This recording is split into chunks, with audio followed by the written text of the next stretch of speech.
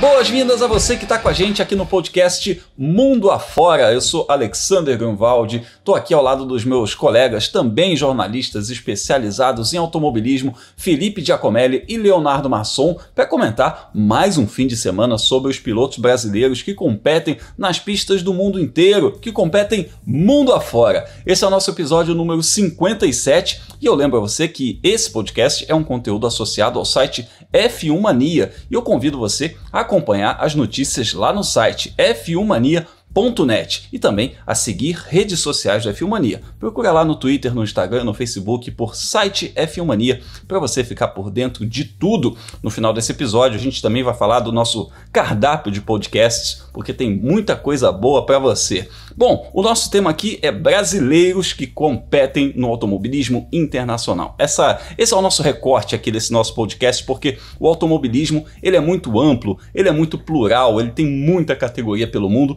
e felizmente a gente tem muito piloto andando forte nessas categorias.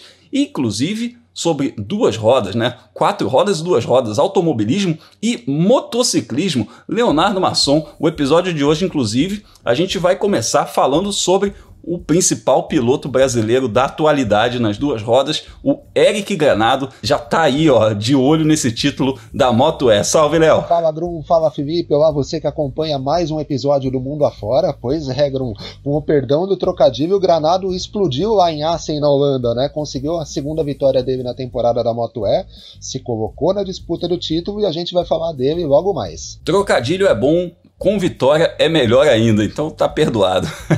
a gente fala bastante aqui sobre é, endurance também, outro assunto que a gente aborda muito aqui no podcast Mundo Afora. E Felipe Giacomelli, a nossa geração atual no endurance, toda semana tem notícia boa a respeito, né? Então, nesse fim de semana que passou, a gente teve pódio e teve vitória brasileira. E já já, no próximo fim de semana, a gente já tem mais uma etapa dessa turma que está competindo lá na IMSA. Seja bem-vindo, Felipe. Fala, Grum. Fala, Léo. Grum, eu sou setorista de Felipe, né? E hoje é dia a gente falar do Fraga. Ele tá com 100% de aproveitamento na INSA e olha que foi um fim de, um fim de semana bastante cheio para ele. Correu em duas categorias diferentes. E a gente vai falar dele daqui a pouquinho, junto com os outros brasileiros. Aquele Augusto, né? E os, os outros dois Filipes, o Nasser e o Derani. É isso, Augusto Farfus, no caso, que é outro piloto brasileiro que é, tem um currículo fantástico no, no Endurance, já ganhou várias provas clássicas e Pipo Derani e Felipe Nasser que fazem uma dupla fortíssima na principal categoria da IMSA. A gente vai falar disso, vai falar também sobre Rafa Matos vencendo e liderando o campeonato na Transam. Que campeonato é esse? Você não conhece? Então fica ligado aqui porque hoje você vai conhecer. Também a gente vai falar sobre o primeiro pódio do Hélio Castro Neves na SRX, outro campeonato novo que estreou nessa temporada aí. A gente ainda vai falar de Bruna Tomazelli na W Series, brasileiros rumo à Fórmula 1, enfim, um cardápio recheado para você. Então, aperta os cintos porque está começando mais uma viagem mundo afora.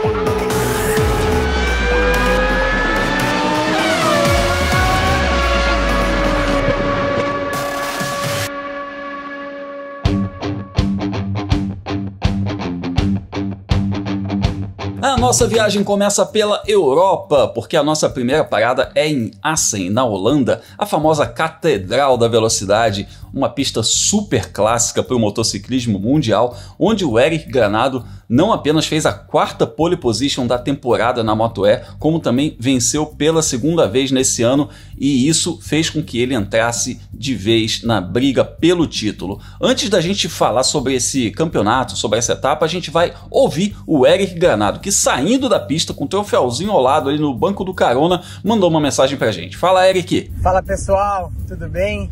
Tô aqui no carro já, indo para o aeroporto. Ó quem tá aqui do meu lado, ó. Mais um, segundo troféuzão de P1 esse ano. Muito feliz, muito contente com o nosso resultado esse final de semana. Depois da frustração que foi Barcelona, né, que foi algo muito triste para mim. A gente tinha tudo para brigar pela vitória lá também. Mas enfim, era para ser assim. Voltamos na briga do campeonato. Uma vitória muito importante hoje, final de semana perfeito. Eu me senti muito bem em cima da moto. Conseguimos a pole ontem e hoje a vitória é, com bastante cabeça para não cometer nenhum erro. Então, é, só tenho a agradecer a minha equipe, a todos os patrocinadores, todos que nunca deixaram de acreditar em mim.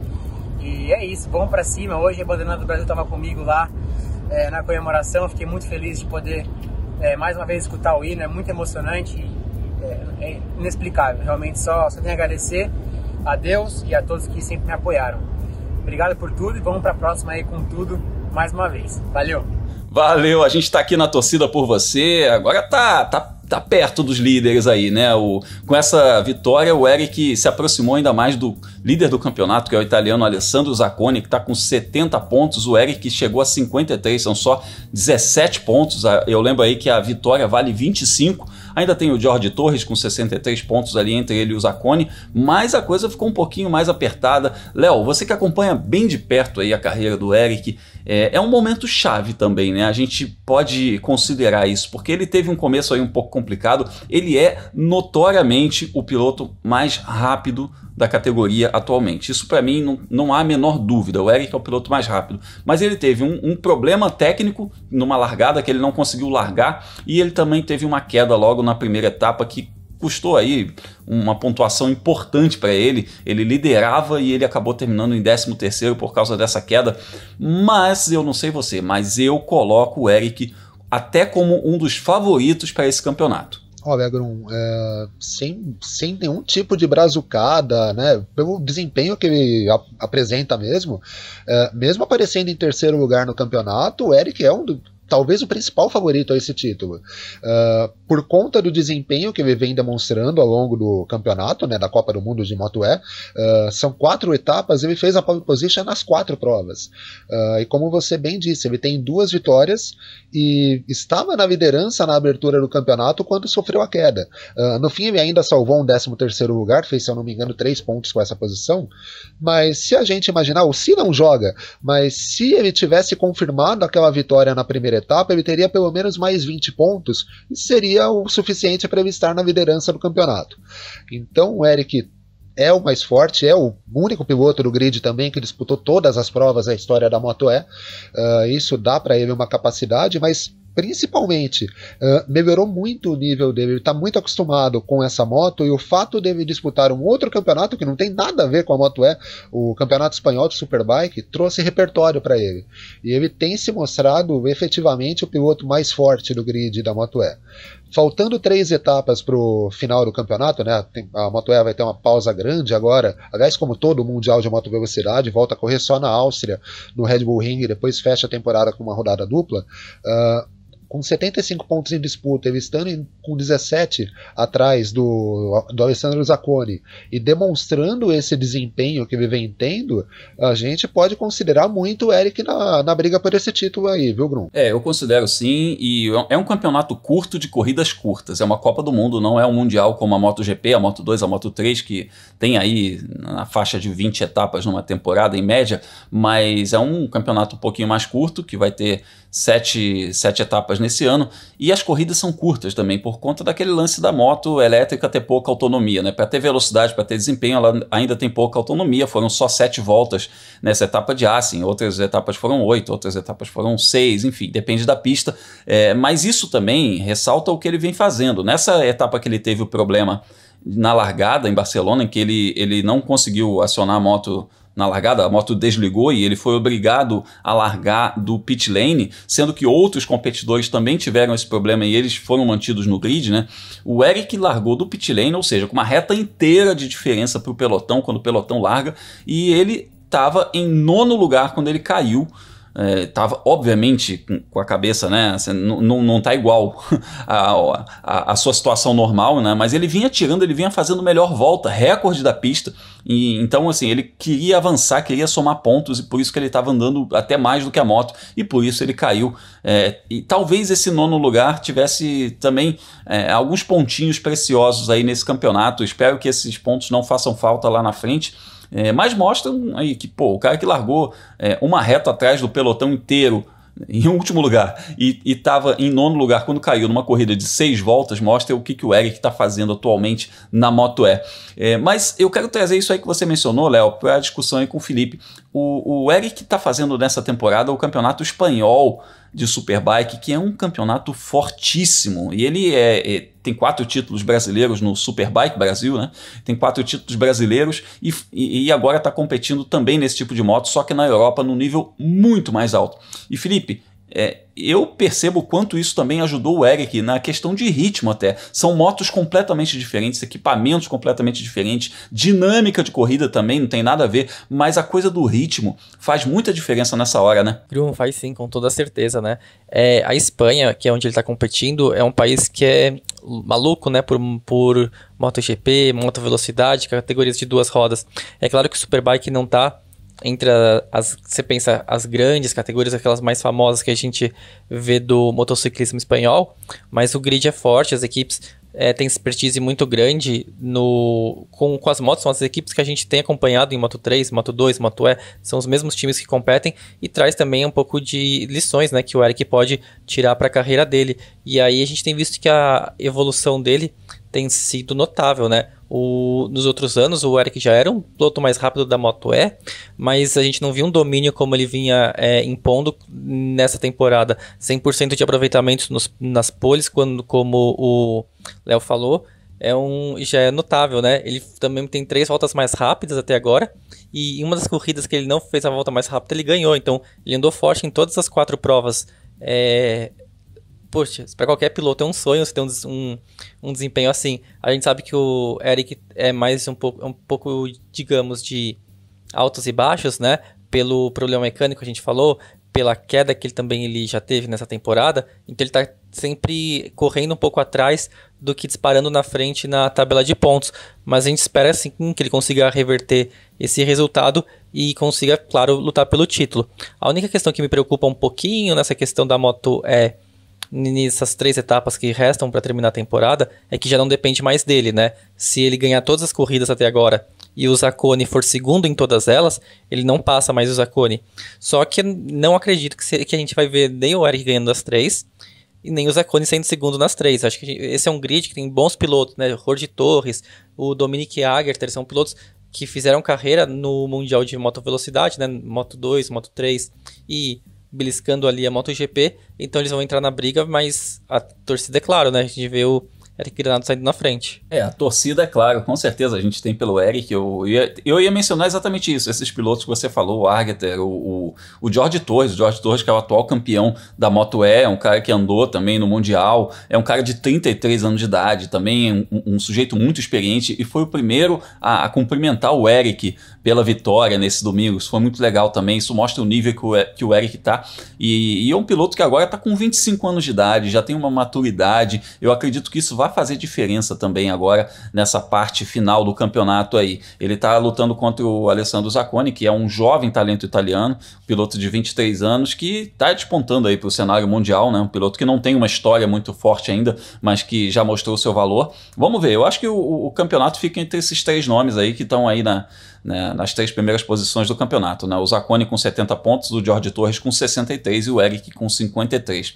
Próxima etapa da Moto E vai demorar um pouquinho, como o Léo falou, né? dia 15 de agosto na Áustria. A gente vai uh, aguardar ansiosamente por esse retorno da Moto E, como diz o Fausto Macieira, né, que faz o burp, ele, ele dá aquele bzzz, a moto elétrica não tem barulho, mas tem muita emoção, né, Léo? Então a gente vai ficar ligadinho aí e de olho nos movimentos do Eric, né? Ah, vamos ficar ligados sim, até porque eu confesso, eu não tenho o calendário do espanhol do Superbike agora, mas eu te garanto que o Eric não vai ficar parado nesse, nesse meio tempo.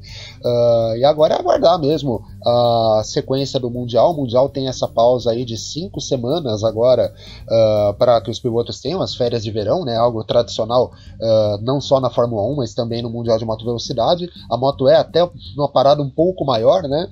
E eles voltam a correr na Áustria, um circuito que para moto é complicado, né? Mesmo para Fórmula 1, a gente viu viu no final de semana a Fórmula 1 correr por lá, mas para moto é mais difícil, né? Todo mundo se lembra, uh, por exemplo, daquele acidente que a gente teve no ano passado, quase uma moto acertou o Valentino Rossi, mas também um circuito que privilegia, né, que permite boas corridas, tanto na MotoGP, na Moto2, na Moto3 e também na Moto E. A Moto E, por ser mais curta, o pessoal tem um senso de urgência maior também, então a gente espera por uma boa corrida do Eric e de todo mundo, né? A expectativa é de uma boa prova. Eu gostei do senso de urgência, é exatamente esse o termo, é o que a gente vê o pessoal se comportando, é isso aí. O Eric já ganhou esse ano em Le Mans, já ganhou em Assen, duas pistas super clássicas, vamos ver aí o que, que ele apronta lá no Red Bull Ring na Áustria. Então é isso, falamos sobre duas rodas e agora vamos para nossa primeira viagem para outro continente, porque agora a gente vai falar sobre endurance, sobre automobilismo norte-americano. Então simbora para falar de IMSA.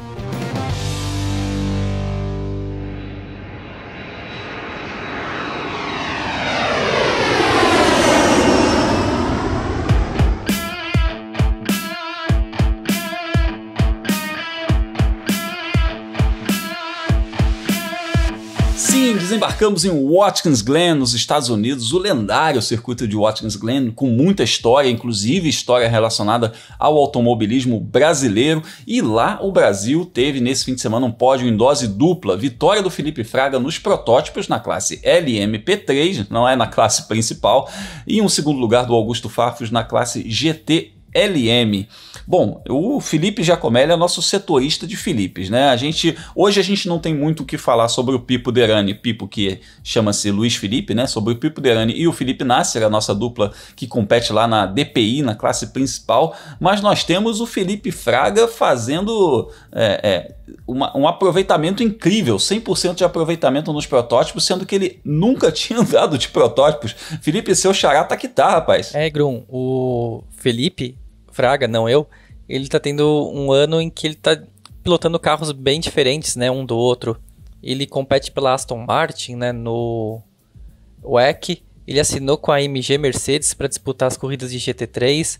Ele anda com esse protótipo LMP3 na INSA. Ele correu de Toyota, olha só, de GT4 nesse fim de semana também, Watkins Glen, numa categoria chamada Pilot Challenge, que Assim, dá pra gente dizer que é uma é a preliminar da INSA, um pouco de categoria de acesso, né? O, claro que não tem uma escadinha igual Fórmula 2, Fórmula 1, mas também é um campeonato bem legal que acontece nos Estados Unidos. O Toyota não teve um desempenho tão bom, o abandonou, acho que antes mesmo do Fraga pilotar na corrida, mas é aquela velha conversa que a gente escuta, né? Quando um piloto entra no carro e vai para a pista, ele aprende alguma coisa. Ele vê condição, as condições do asfalto, a condição de temperatura, ele deixa os reflexos dele mais aguçados. E aí essa quilometragem extra acabou ajudando o Felipe Fraga para a corrida do domingo, né, principal às 6 horas em Watkins Glen, que é a terceira etapa, né, da, do campeonato de endurance da INSA, né, que tem a, junto com as 24 horas de Daytona, as 12 horas de Sebring e a Petit Le Mans que vai fechar o campeonato lá no fim do ano. E o Fraga ele faz parte de uma equipe que é muito acertada, né? É a Riley, é uma equipe tradicional do automobilismo norte-americano. É, é, a equipe que durante muitos anos correu com aquela reencarnação do Dodge Viper, né? O, quando já, a Fiat já tinha comprado a Chrysler, já ia fechar a marca e colocou os carros para correr, eles tiveram um bom, um bom desempenho. Mas é uma equipe muito tradicional de qualquer maneira, e os outros dois pilotos, o Scott Andrews, o Gar Robinson, companheiros de equipe dele, são também veteranos na categoria e são aqueles pilotos que eles não cometem, apesar né, de não serem profissionais assim ao pé da letra, eles não cometem erros, né? Eles têm um desempenho bom constantemente. Você vê que nunca, assim, a LMP3 é uma categoria que causa muita bandeira amarela nas provas, mas nunca esse carro da Riley que tá que é o culpado, né? Ele é um carro que por mais que os pilotos não sejam os grandes profissionais, né, excluindo o Felipe Fraga, obviamente, eles não cometem erro. Tanto que eles ganharam em Daytona quando o Felipe Fraga não pôde participar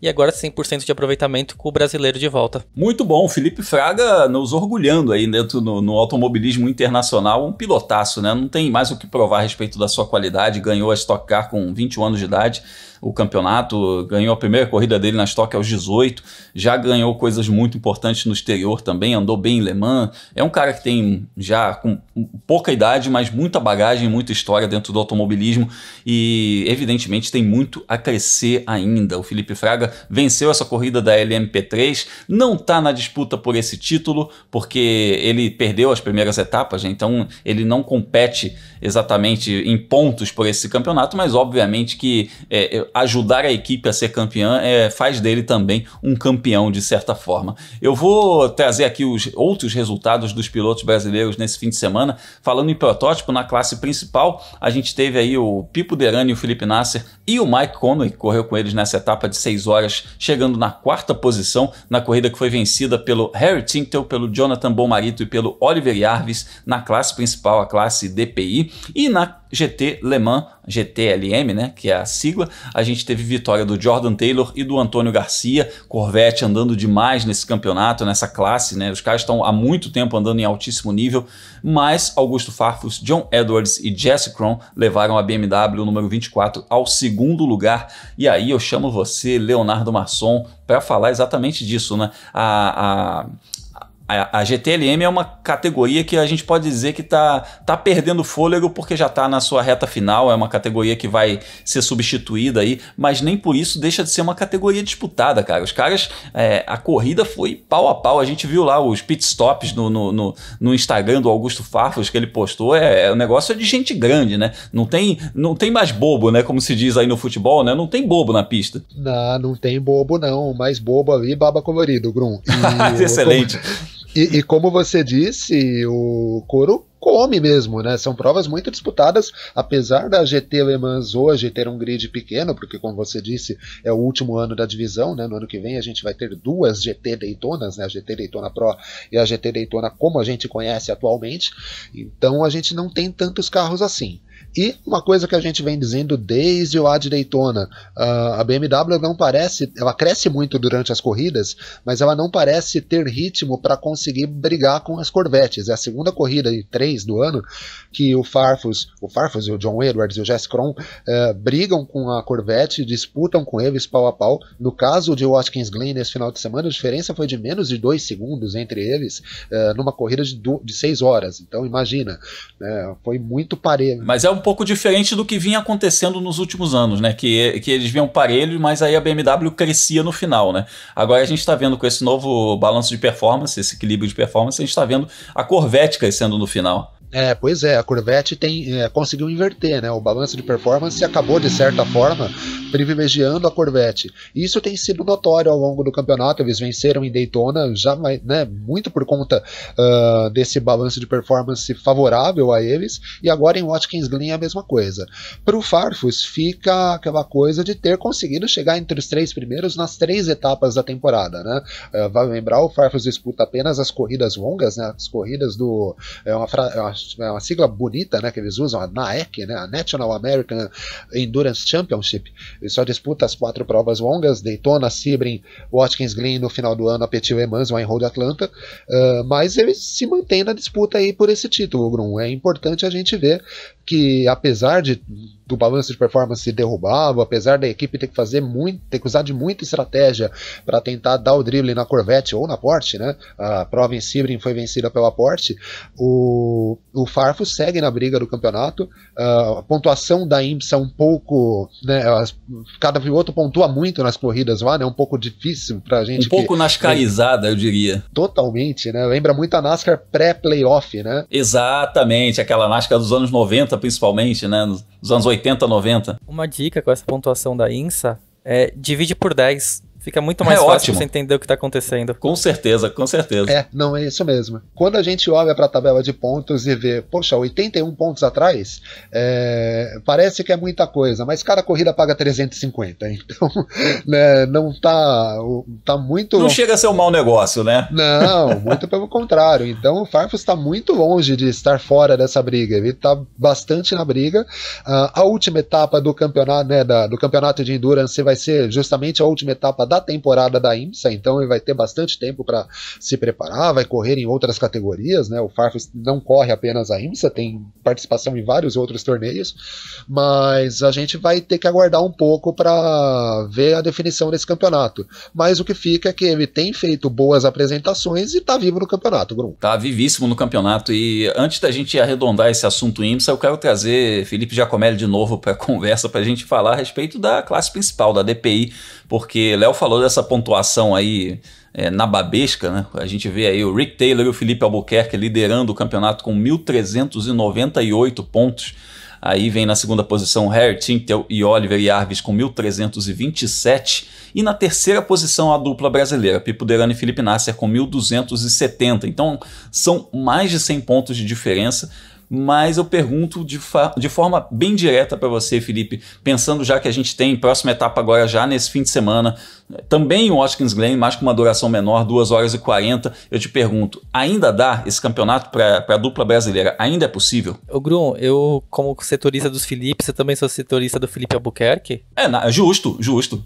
É, esse é Felipe, esse é Felipe com I, mas é, mas tá, tá na família. Não, é brincadeira, mas é, é, é o Felipe Albuquerque e o Rick Taylor é uma parada duríssima, né? São dois pilotos que estão em ótima fase, o ainda correm pelo N Taylor, que é uma das equipes mais fortes do campeonato, mas dá tempo sim, né? A gente ainda tem algumas corridas até o fim desse ano. O que a gente precisa ver logo que os dois Philips, né, o Pipo Derani e o Felipe Nasser, é, tirem um pouco a zica, né? Deixem para lá e comecem a ganhar corridas, né? Porque quando você chega em segundo, alguém tá, tá tirando ponto ou tá disparando em relação a você. Quando você ganha, aí está tá é, tirando a diferença para todo mundo.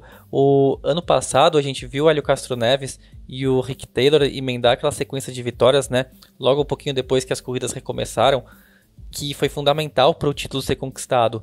E os dois brasileiros, eles, eles poxa, é uma das duplas mais fortes que a gente vê na INSA, né? Então, eles conseguindo uma etapa que dá tudo certo, eles, começam, eles começarem a ganhar logo, é fundamental para chegar na Petit Le Mans com chance de conquistar o título.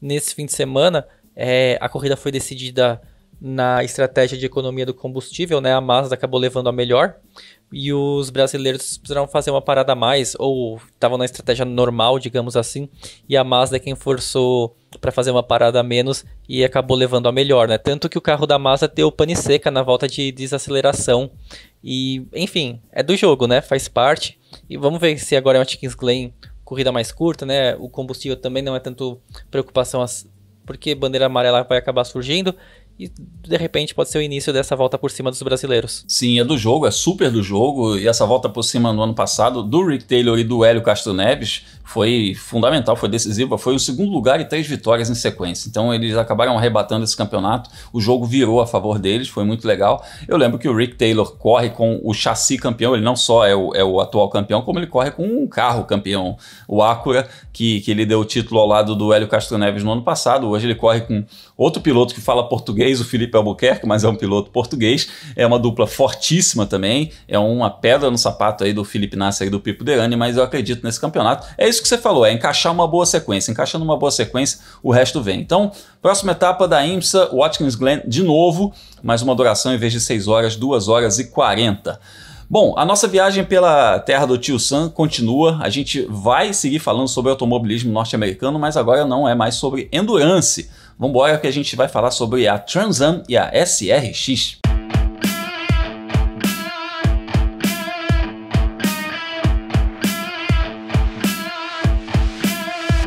Olha que legal, um bloco para falar de dois campeonatos, dois campeonatos relativamente desconhecidos do público brasileiro. Um porque realmente não tem televisionamento, não tem transmissões para cá, a gente não conhece muita coisa, e o outro porque começou nesse ano, que é a SRX. Eu, eu falei primeiro da Trans Am, Trans Am, Trans América, seria essa a tradução dessa sigla, né? É um campeonato de carros V8, aqueles carros potentes, né? Aqueles, aqueles chamados muscle cars, onde nós temos o Rafa Matos como nosso representante. Ele corre na classe TA2 e fez um fim de semana sensacional lá em Mid Ohio com pole, vitória, liderou todas as, as voltas e saiu de lá como líder do campeonato. Ele, inclusive, briga por esse título com o atual campeão. Antes da gente falar sobre a SRX, Léo, É, o Rafa Matos é um piloto que fez um currículo muito bom justamente nos Estados Unidos. Ele é um cara que fez a todo o Road to Indy, ganhou categorias de acesso rumo à Indy, fez é, participações na Fórmula Indy, depois voltou para o Brasil, andou na Stock Car e se encontrou nesse campeonato. Né? Parece que, que a terra do tio Sam é, é uma terra prometida para o Rafa Matos. Né? Ah, pois é, Grum. É, quando até trazendo aqui a baila um outro campeonato que a gente tem acompanhado bem, que é o SF 2000 com o Kiko Porto. Uh, o ouvinte sempre escuta a gente falar uh, que um, o título de uma temporada, de um campeonato dá vaga, né, dá a bolsa para você correr na categoria acima.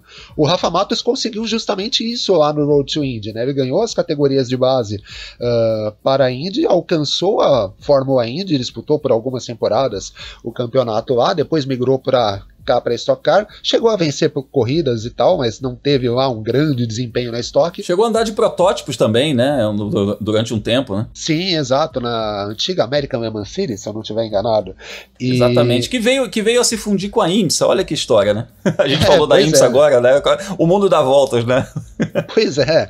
E aí parece que ele se encontrou nessa Transam, né? Uh, a gente, desde o ano passado, comenta algumas provas uh, em que ele participa e sempre na classe TA2, uh, sempre ele conseguiu arrancar um segundo, terceiro lugar, de vez em quando beliscava uma vitória, mas nesse ano ele se acertou, Grum. Uh, vem conseguindo bons desempenhos, andando costumeiramente à frente, né, e liderando o campeonato. Lá em Mid-Ohio fez aquilo que a gente chama de Grand Chelem, né, uh, vitória, melhor volta, liderou todas as voltas, enfim, uh, é uma temporada muito boa do Rafa, uh, num campeonato que não é tão conhecido da gente, e aí não sei se é da vontade do Rafa, porque a Transan não corre em ovais, uh, mas uma coisa, eu costumo acompanhar as provas da NASCAR, tanto da, das três divisões, né, da, da Cup, da Xfinity e da Truck Series, Uma coisa que a gente vem notando é que muitos pilotos que atuam na Transam têm se arriscado em provas da Truck Series, corre, vem correndo nas caminhonetes.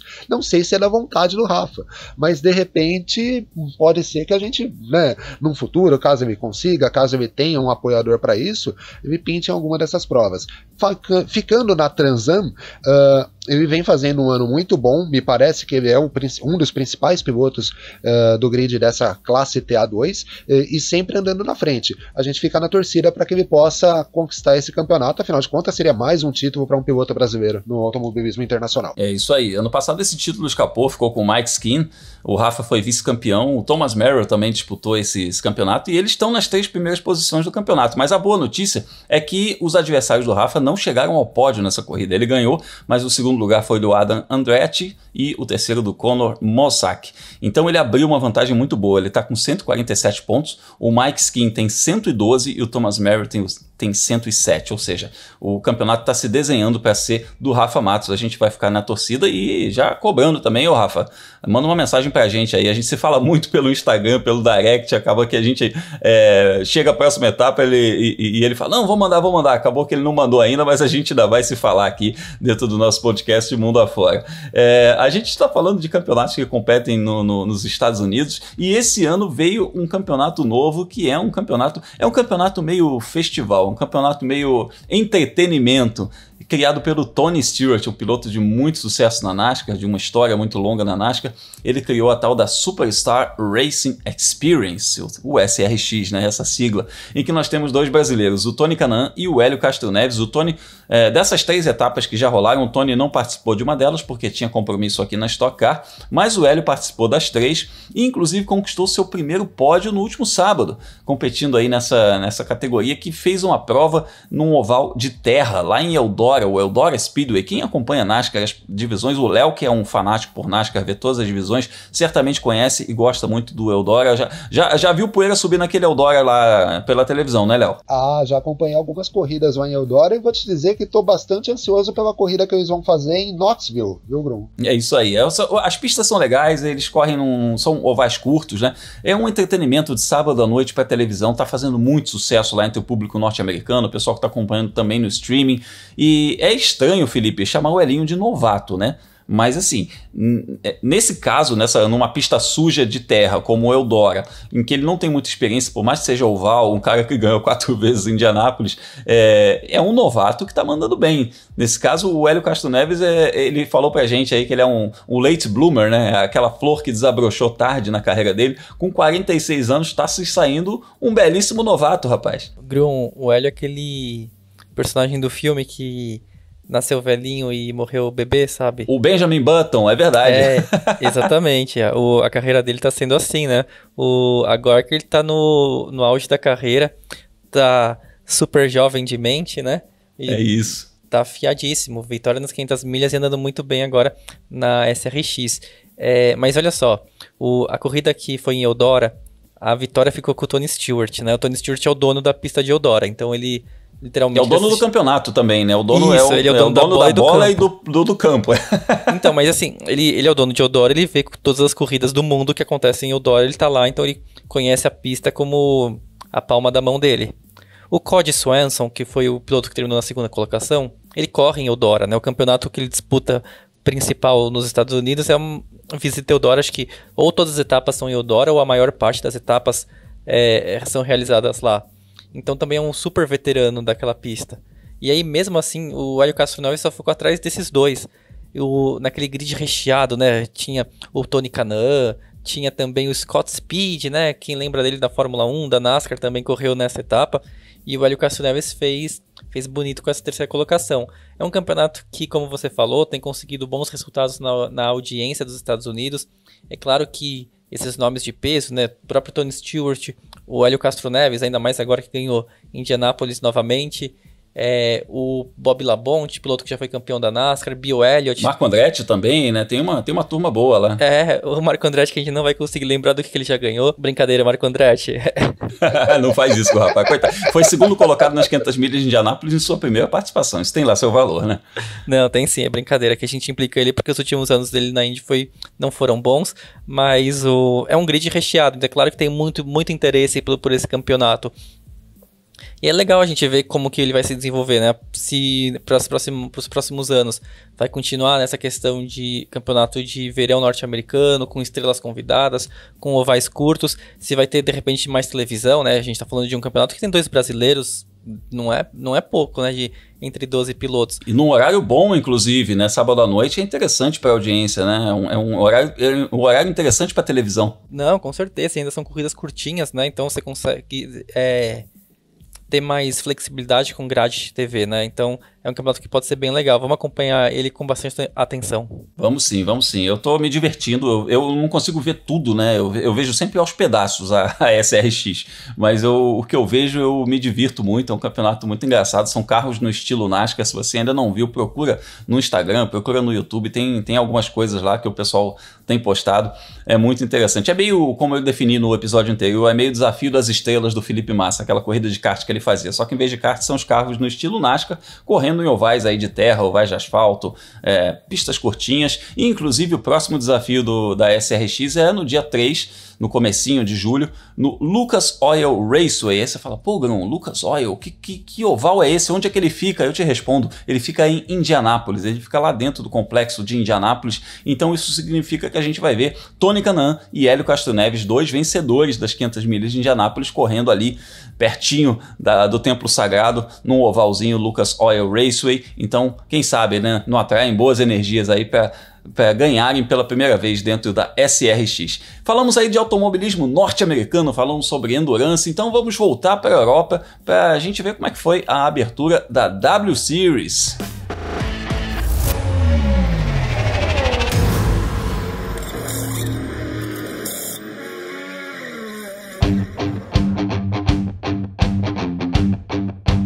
Chegamos à Europa, mais precisamente ao circuito de Spielberg, na Áustria, porque na semana passada a gente conversou com a Bruna Tomazelli aqui no podcast e ela contou a respeito das expectativas dela para a estreia na W Series, aquele campeonato 100% feminino, um grid formado apenas por mulheres, uma iniciativa espetacular da FIA, junto com os promotores desse campeonato, um campeonato muito sério, um campeonato muito bem elaborado e é muito bacana a gente ter esse é, uma representante nesse campeonato, né? Isso dá um uma, dá um, joga uma luz sobre esse assunto também aqui para o público brasileiro que está precisando. Aí a gente vive um período um pouco sombrio, digamos assim, em alguns conceitos da nossa sociedade. Então é importante que a gente tenha esse tema da inclusão de mulheres dentro do esporte a motor e da, né, dentro da sociedade como um todo, é, um pouco mais em voga por aqui. A Bruna fez a estreia dela, foi um, um décimo primeiro lugar, mas um, uma corrida que teve muitos altos e baixos. Ela andou muito bem, andou no ritmo das líderes, ultrapassou, foi ultrapassada,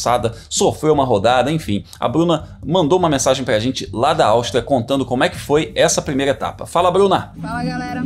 Foi um bom fim de semana aqui em Ashbury. Primeiro fim de semana com a W Series, primeira vez na pista, bastante aprendizado.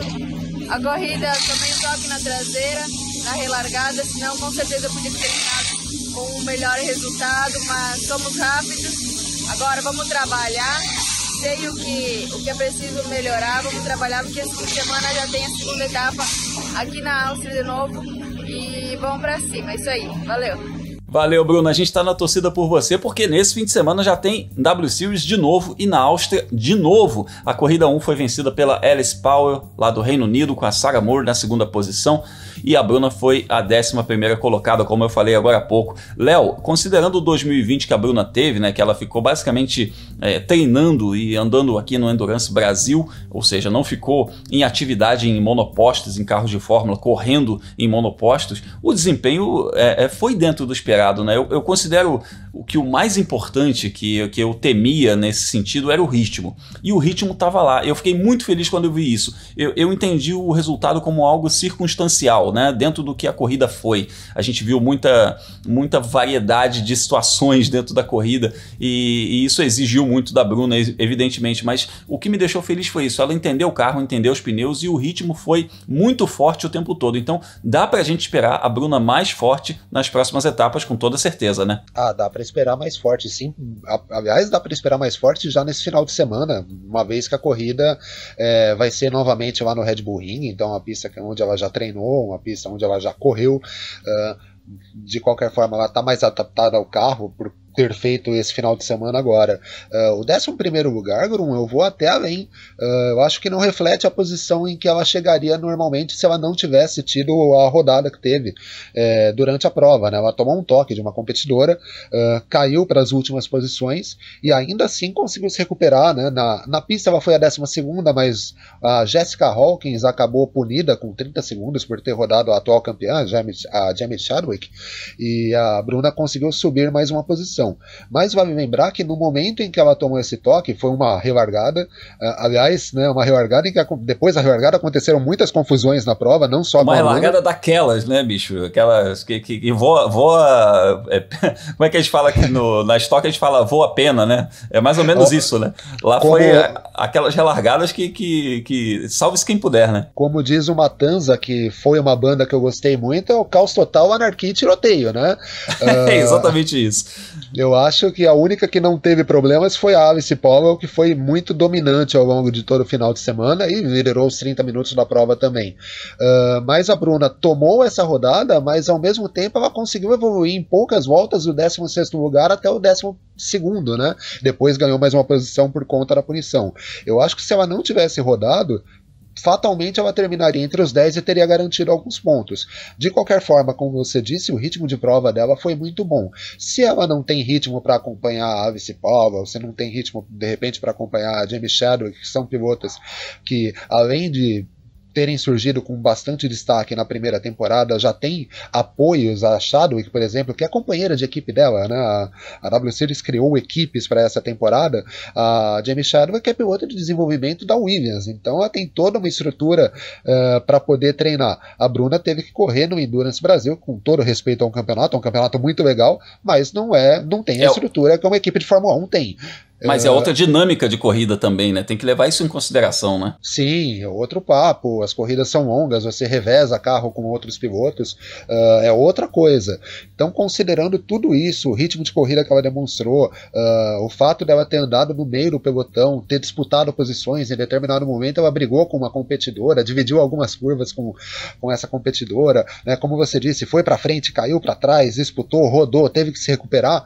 Uh, o desempenho dela foi muito bom e por termos uma próxima etapa no mesmo circuito, a gente espera que ela consiga trazer pontos aí nessa segunda etapa, Grum. Eu gostei muito dessa estreia dela e, e eu preciso lembrar aqui a quem está nos ouvindo que não só foi a estreia dela na W Series, como foi a estreia dela no automobilismo europeu. A Bruna nunca tinha corrido na Europa. Isso, isso é uma coisa que a gente tem que reforçar também. E ela andou muito bem logo nessa estreia. E eu acredito até que esse resultado ele ele está muito ligado também ao quão cautelosa ela foi. Ela foi muito cautelosa durante todos os treinos. A gente viu isso na volta rápida dela do, do Qualify, durante a própria corrida, nas disputas por posição, ela recolheu várias vezes. Então ela, ela não quis se meter em confusões. Isso é um bom sinal também, que mostra que ela não está com aquela cabeça de preciso ganhar a qualquer custo. Ela está construindo o estilo dela, construindo o conhecimento do carro, construindo o próprio campeonato dela. Aliás, é um campeonato que você mencionou, Léo, o negócio das equipes. O Felipe, você viu, né? Alguns dias antes da corrida, na verdade, no dia seguinte que a gente gravou o episódio passado,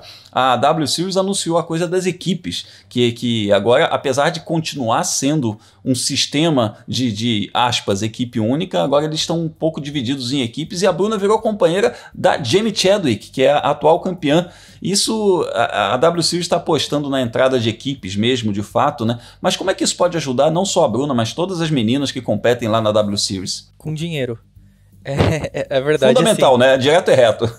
É. Não, é Grum, a, a gente precisa entender que a W Series é um campeonato que surgiu uh, numa empreitada assim quase sozinha de uma executiva chamada Catherine Bond Muir, que ela há cinco anos atrás ela teve uma ideia de fazer um campeonato para mulheres. Aí ela foi bater um monte de porta e todo mundo recusou ela. Aí ela, ela não desistiu, né? Ela seguiu firme nessa ideia e foi batendo nas portas, batendo na porta, até que conseguiu.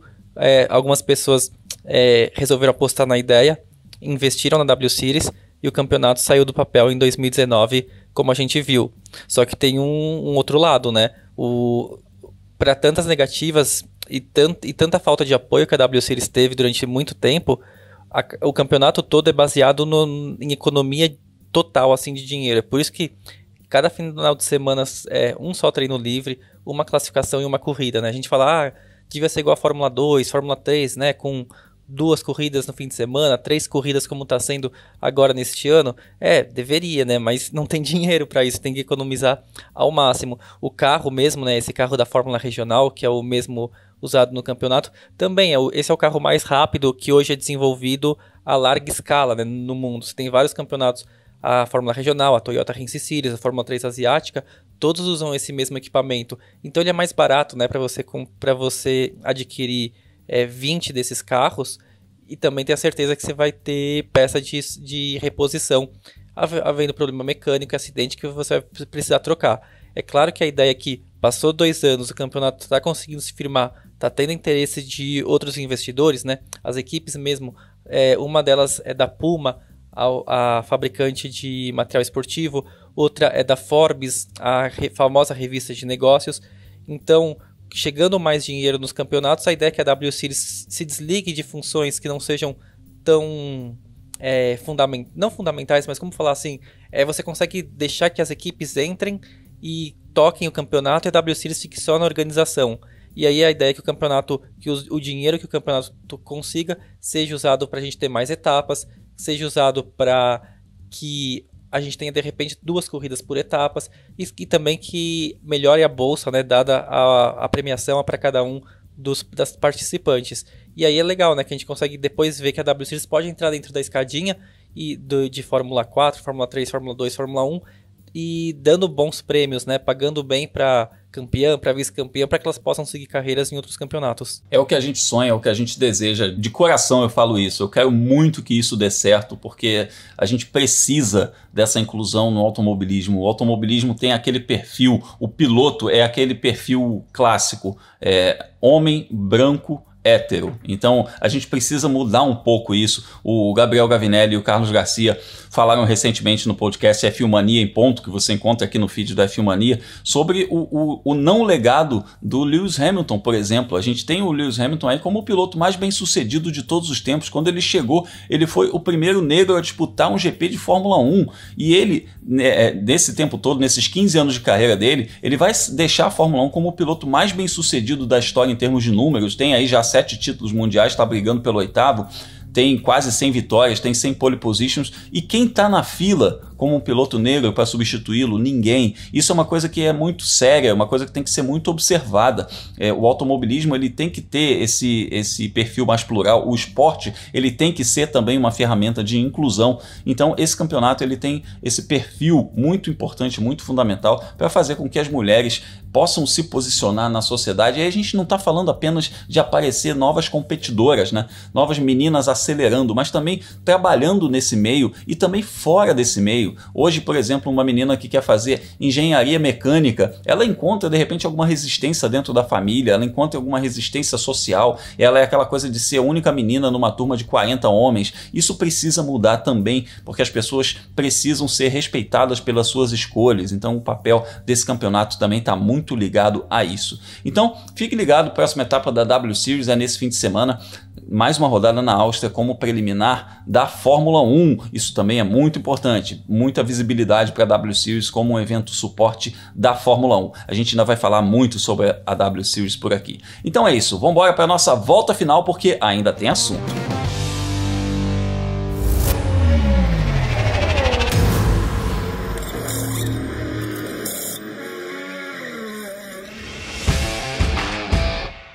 Nossa volta final começa falando de categorias de base rumo à Fórmula 1, porque o brasileiro Roberto Faria conquistou pódios na Fórmula 3 britânica. Muito bacana, eu falei pódios no plural, hein? Atenção!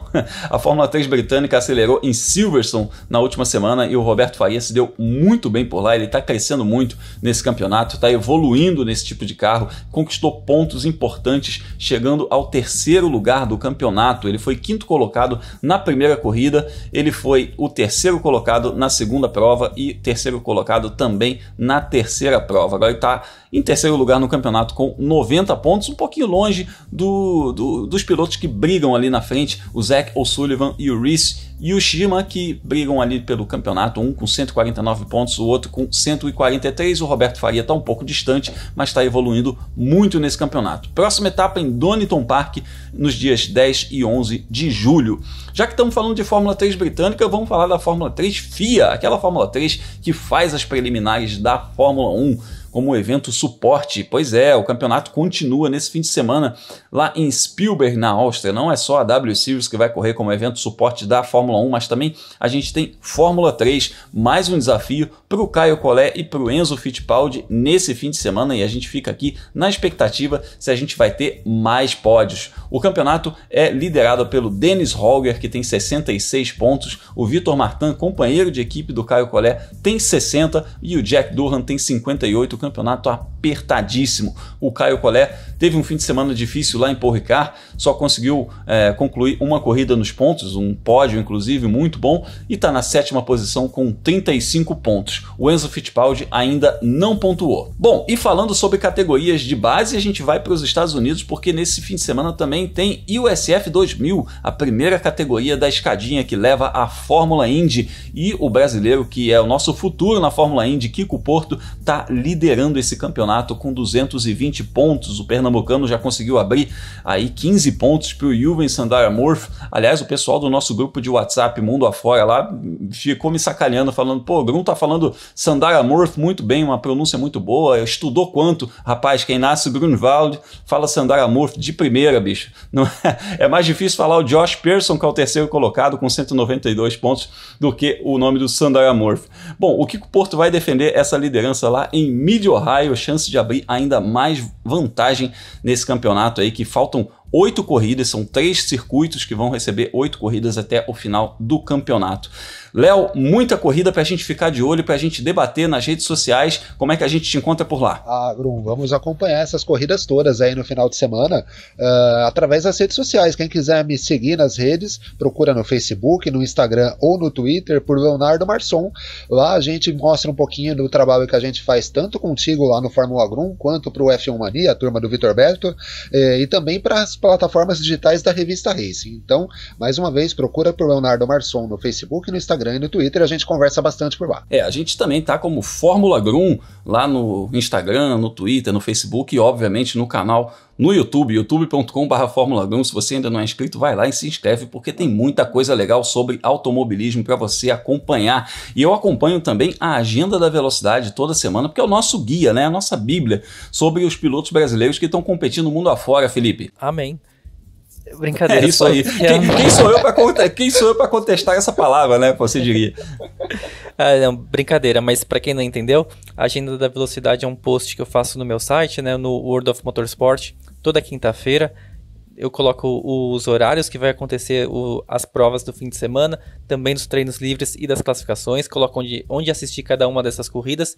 E depois, né, conforme as sessões de pista for acontecendo, ainda coloca ali um linkzinho para o PDF ou para o site oficial da categoria com o resultado. Então você quer saber, por exemplo, onde que o Kiko Porto terminou no treino livre em Mid Ohio, vai ter ali o link e qual que foi a posição do Caio Collet na classificação da Fórmula 3, também vai ter um link lá. E quem quiser é, me encontrar nas redes sociais, só procurar por Felipe Giacomelli no Twitter e no Instagram. É, isso aí. A gente está lá nas redes sociais trocando muita ideia, principalmente no Twitter. A gente fala muito no Twitter, hein? Oh, nossa senhora. Mas a gente fala muito também no WhatsApp. Sim, você pode encontrar Alexander Grunwald, é, Leonardo Masson, Felipe Giacomelli e uma galera muito legal, mais de 100 pessoas no nosso grupo do WhatsApp Mundo Afora Fórmula 1. Tem o link na, na no, no, Twitter do Fórmula Grum, lá se você entrar no Twitter Fórmula Grum, tem um tweet fixado com um link para você entrar lá no nosso grupo. Mas se você não tiver Twitter, me chama no Instagram, me chama lá no direct, pô Grum, me manda o link aí, eu mando o link para você e você vai lá conversar com a gente, é um papo de altíssimo nível e fim de semana aquilo ferve, rapaz, é um negócio de maluco, é muita mensagem, mas muita mensagem de altíssima qualidade, porque o pessoal entende demais sobre o assunto. É um orgulho imenso a gente ver tanta gente entendendo de automobilismo nesse nível, além da Fórmula 1, não é? Automobilismo, é muito mais que Fórmula 1, é um esporte super plural. E felizmente a gente tem muito fã de automobilismo aqui no Brasil que entende muito do riscado. Bom, eu fecho esse episódio convidando você a assinar o nosso feed de podcasts aqui do F1 Mania, porque de segunda a sexta, Carlos Garcia e Gabriel Gavinelli trazem o F1 Mania em ponto com as principais notícias do esporte a motor. E semanalmente tem o Full Gas Podcast com o Gabo Carvalho e o Gabriel Lima falando sobre MotoGP, o universo das duas rodas, um podcast que eu gosto muito também. Eu ouço todas as edições do Imponto, todas as edições do Fugaz e, evidentemente, todas as edições do nosso querido Mundo Afora. Agradeço o Felipe, agradeço o Léo por mais um episódio, agradeço a você que ficou com a gente até aqui e semana que vem a gente tá de volta aqui nesse mesmo feed. Um forte abraço e até a próxima!